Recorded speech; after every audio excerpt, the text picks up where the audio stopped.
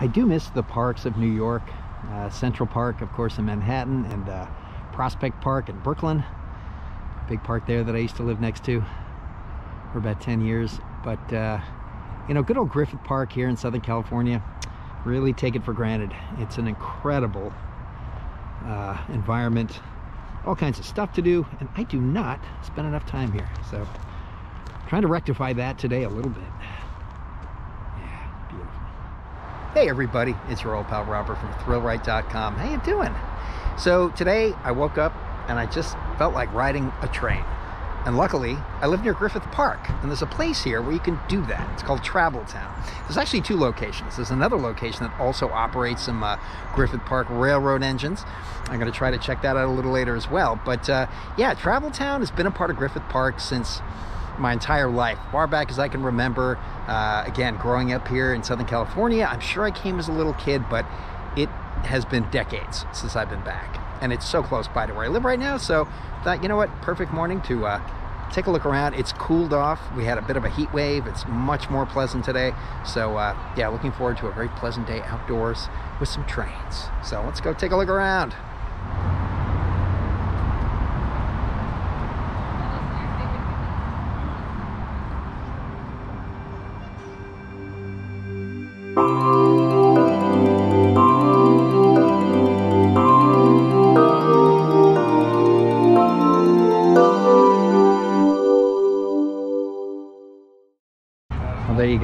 Front gate, a nice plaque. Travel Town, dedicated to preserving for posterity the various types of transportation equipment that helped build our state and nation. Awesome. There are two enclosed exhibit spaces. There's a big uh, exhibition hall and another smaller gallery, and those remain closed, but all the outdoor exhibits are uh, clearly available here and you can see across the way there's a cute little uh, train station stop for the train ride. And it looks like this is a, a restored waiting station from the uh, Pacific Electric once the largest and most varied interurban railway in North America. Huh. The station was refurbished in 2011 by Katie Nier Girl Scout Troop 751 as her Gold Award project. Well done, Katie. Yeah, this is pretty cool. This uh, Pacific Electric line I was completely unaware of until right now. And it says here, its lines developed growth patterns throughout Southern California that are still being felt today. The rail vehicles were known as the Big Red Cars by employees and patrons alike. Now that is one mighty engine. They're, uh, they're pretty amazing pieces of technology. So beautiful. And look at this. Presented to the children of Los Angeles by the Southern Pacific Company. I don't know what it is about the scale of these wheels, but they are impressive. And part of what I think appeals to me about trains, and look at these giant pistons to drive them. Ah, yeah. And to think this was the uh, dominant form of transportation in our country for quite some time. And still very important in a lot of ways to many industries. Neat. Looks like we can walk up inside. Excellent. Oh, and yeah, there are some QR codes periodically around the exhibits where you can uh, scan with your phone and get a little more uh, relevant information about what you're looking at. All right, let's head up inside to the main cabin or whatever they call it where the engineers pilot the trains. Yeah look at that. Yeah that is one big heavy piece of equipment right there. Impressive. All the various knobs and levers and switches. It's all very analog which I really enjoy. There's nothing fly by wire on a steam locomotive oh man. Again to drive one of these down the rails that's kind of a bucket list item I wouldn't mind achieving someday. And we can thank Bellier Truck Company for actually delivering all these various uh, train parts to Travel Town. I don't know if the plan is to restore these old passenger cars at some? And part of me hopes no, that they kind of leave it in this state of decay. It's kind of neat to see the fading and peeling paint. Just a reminder that these are relics of a bygone era. Suspension provided by our friends at the National Coiled Spring Company. Amazing. Huh. I guess this uh, passenger car at one point service the state of Pennsylvania or or is that not how the uh, naming convention of train cars works? I'm really not much of an expert on trains. I just think they're neat. I think despite what the sign says there, that the museum store is open, I don't think that is correct. I'll double check again a little later, but uh, kind of neat. Right out here, another big, beautiful locomotive from the American Locomotive Company, 1925. Yeah, look at that. And of course, I think anybody who works in themed entertainment, their passion or interest in trains stems directly from Walt Disney's own. He was obviously one of probably the most famous train aficionado I know of. And uh, in his earliest dreams for Disneyland, he always described it as someplace you've never seen before, and it's surrounded by a train. It's kind of the first attraction that Walt knew was going to be in his park. Well, there's some other cool trains back here, but the area is closed for a special event today. So, and I get kind of a distant look at the, the other exterior exhibits back here. Well, this is a bit of an unexpected surprise. So back here by the restrooms, there is something called the Dining Car China Garden. During the golden era of American passenger trains, 1880 to 1971. Wow, that late. Many different railroads competed for travelers. Each individual railroad took great pride in the quality of its dining car service, frequently using custom patterns of china on the tables. These china patterns are often decorated with flowers and plants common to the region the train traveled through. Brilliant. Right, there you go. You've got the Atlantic Coast Line Railroad, the Flora of the South China pattern with hibiscus, poinsettia, and jessamine. I've never heard of the jessamine plant before. And the Southern Pacific Line, the Prairie Mountain Wilderness Flowers China pattern. And these incorporate the California poppy, the azalea, Ruby Lily and Baby Blue Eyes. And the Pullman Company featured an Indian tree pattern with the mythological tree of life. And then back there, Union Pacific Railroad had a Portland Rose China pattern. A Caroline Test-Out Rose. Well, what do you know? This is fascinating.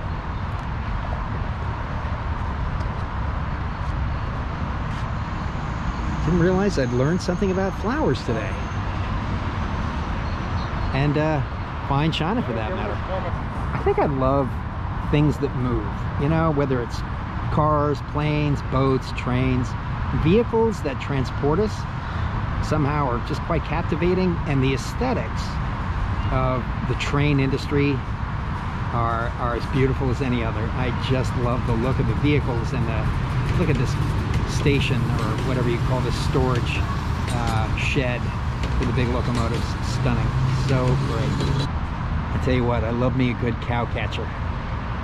Just the fact that they're called cow catchers is already great, but yeah, more more uh, more vehicles need uh, some uh, front end bling like old steam locomotives have. yep, just plain magnificent.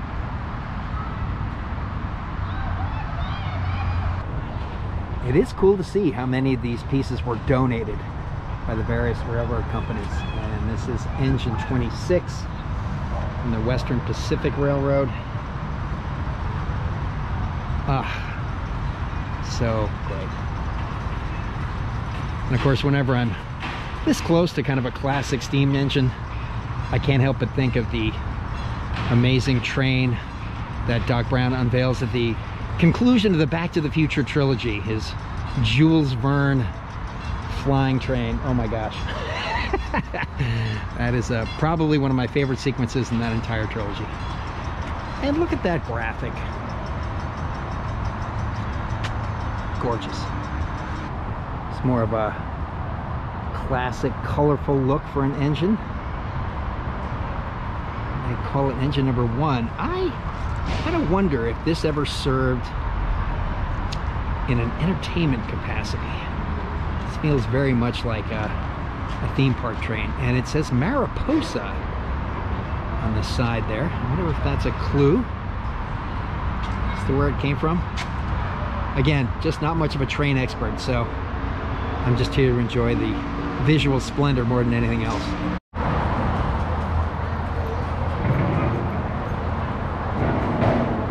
The old 4439. Ah, yes, I remember it well. Chugging down the rails. I don't know why I'm trying to sound like an old uh, train engineer. and a classic caboose from the Union Pacific line. And now, I, am pretty sure that's a caboose. And now I'm wondering why a caboose is called a caboose and why it is traditionally the last train or the last car in a lot of trains. This is unusual. Here is an, a Pacific Electric. I don't even know if that's an engine. Perhaps it is. But that is a design I have never seen before. I don't know what you'd call that slick and avant-garde compared to other train engines of its time, but yeah, funky. This tank car was constructed in 1911 and was in continuous service for over 50 years. During this time, it has transported over 32 million gallons of petrol of petroleum products. That's quite a bit. Car weighs 65,700 pounds. Ay caramba. And it was presented to Travel Town by the Richfield Oil Corporation on July 5th, 1961. Huh. Yeah, this uh, passenger car really does have a kind of have a classical look to it. This is the Oahu Railway and Land Company Coach number one. This wooden car is a fine example of the simple but handsome passenger car design of the late 19th century. It is completely paneled in mahogany and originally had ornate detail work painted on the ceiling. Yeah, I don't know if you can see much detail inside. There's a lot of glare in the glass, but there's a little peek. So this particular car is actually called a combination car, number 36, because you can see it was designed one half to haul passengers and the other half to haul mail or uh, luggage. Fascinating. Well, that's an unexpected factoid. Both of the Oahu passenger cars are furnished with an early design railroad car water closet. a tiny space, literally the size of a small closet, was walled off and protected with a door. I guess, uh, yeah, people would use the facilities and it would just deposit onto the tracks. Lovely. okay, I've learned something new about cabooses. Up until the 1980s, cabooses served a vital purpose at the end of the train from the viewing area atop the roof called the cupola or cupola cupola francis ford Coppola a member of the train's crew could see along the length of the entire train so that they could be forewarned of problems or adverse conditions that might require the train to stop. How do you like that? Okay. Right so it says before the turn of the century the most important people working on a train were stationed in the caboose because they were the brakemen. Until the invention and widespread application of George Westinghouse's air brake in the later 19th century, each passenger or freight car had its own brake, which had to be set individually on each car by means of turning a large wheel. Wow. To stop the train in an emergency, the engineer would ram the locomotive in reverse while the two or three brakemen on the train scrambled across the car roofs from car to car, hand setting the brakes. Good grief.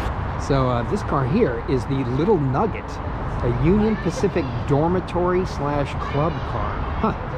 Club cars were developed by the Pullman Car Manufacturing Company in the 1880s, a time when both Pullman and the railroads were experimenting with new types of cars that would make train travel more comfortable and entertaining. Huh. As a period photo of the interior, that definitely looks a little cushier than a lot of other early uh, rail car uh, compartments.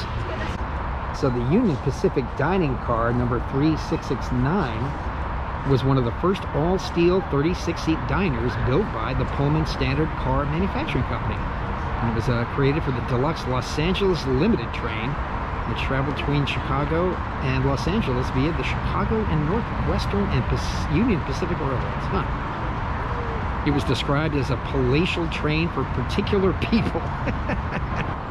Here's a train, bit more of a, I'm assuming a diesel engine? A California Western.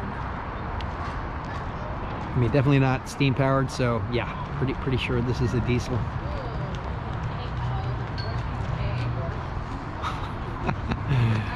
and if I'm not mistaken, I believe the mascot of this train is a skunk wearing a conductor's cap. Nice.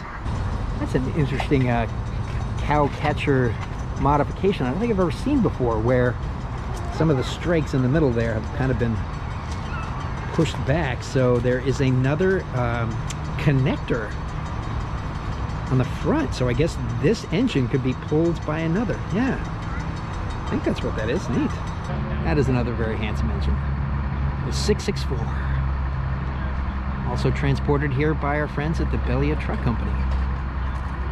Well, this is a nice little uh, information placard about automatic block signals. Automatic block signaling, ABS, was developed in the late 19th century to allow multiple trains to operate safely in the same direction without the risk of rear-end collision. In an ABS system, the track is divided into segments, aka blocks, and signals are placed at the ends of each block to tell train crews whether or not the track segment ahead is occupied or clear. Huh. Of course, we, uh, we do something quite similar with roller coasters. Important words of wisdom. Always assume there's a train coming at you. ah, the lonely lady. kind of a melancholy name for a little train car, and I guess that's some kind of a storage tank on that flatbed. But I love this. That's pretty cool, and I bet this had a lot to do with moving and placing the vehicles at this very park. Oh wow, from the United States Navy. And you can hear the engine running in there. Awesome. Is that what that is? Yeah. Wow. It actually sounds like the engine is running in there yeah, I don't think that is for show. I think, well, it is for show, but it is also very much a functional part of this installation. Oh man, that'd be cool to see in action. I love this kind of open air passenger car. This sure does have kind of a theme park feel to it too, or amusement park. It does not look like something that was used in regular industrial or municipal service, but I could be wrong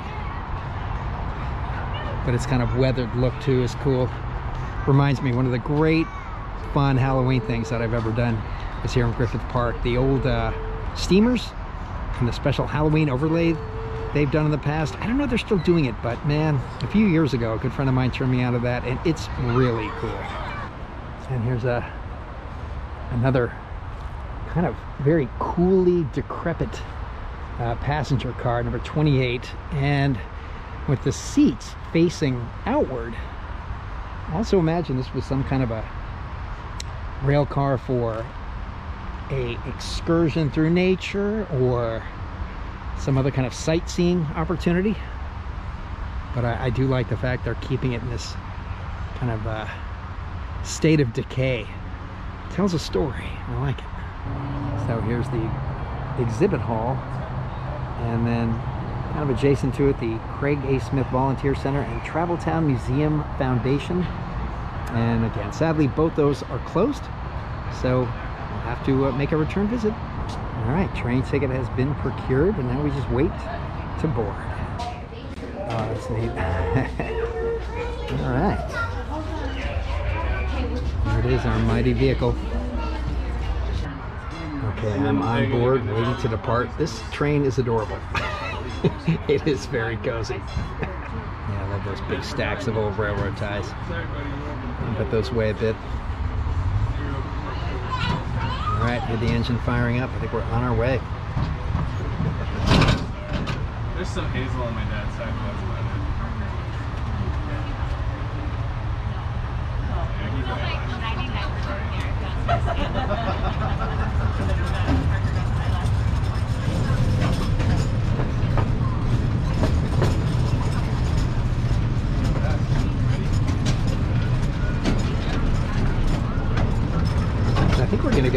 closer look at some of the other engines and cars that are kind of closed off to us because of that private event. So, bonus.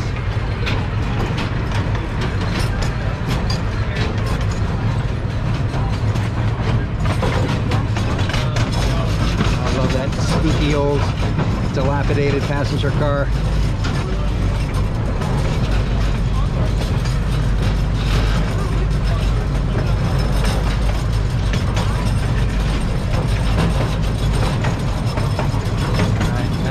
Rio Vista waiting station.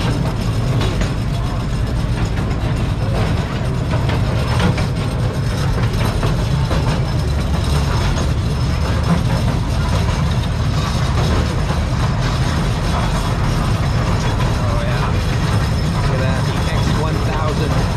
Nice, yeah. There's a whole bunch of other uh, train cars back there. Look at this, beautiful.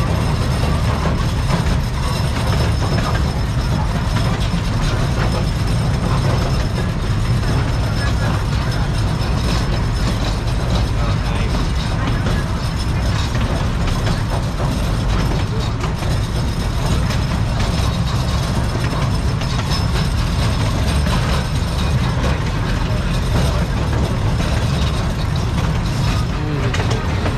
Nice smell of pine going through the trees.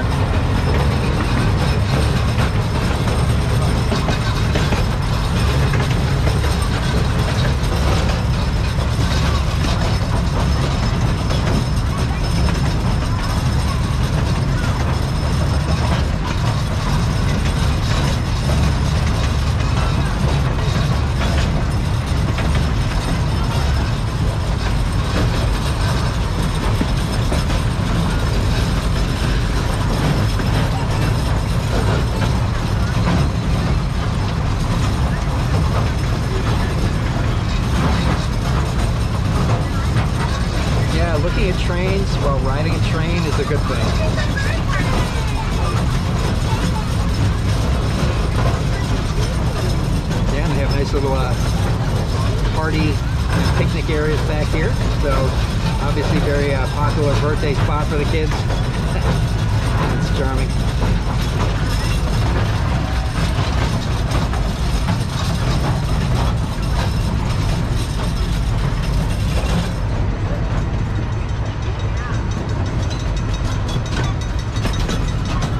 And there we go, pulling back into the station. Was a very pleasant $4 excursion. Highly recommended.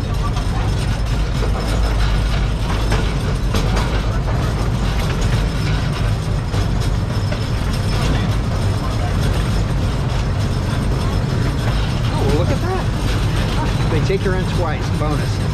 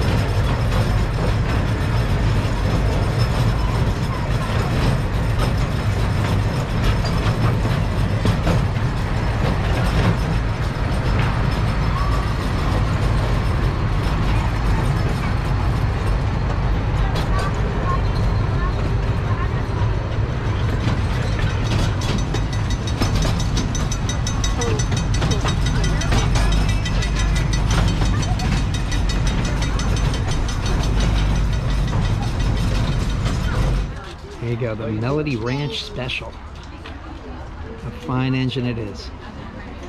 And this is very appropriate. This is a wood sculpture of the legendary Casey Jones. Probably the most famous railroad engineer in history who uh, gave his life saving a, a, railroad car full of people on April 30th in 1900. And the artist, Casey McCawn, I believe I'm pronouncing that right, uh, specializes in wood carving and uh, is devoted to mastering the art of sculpturing lifelike figures out of wood using a chainsaw.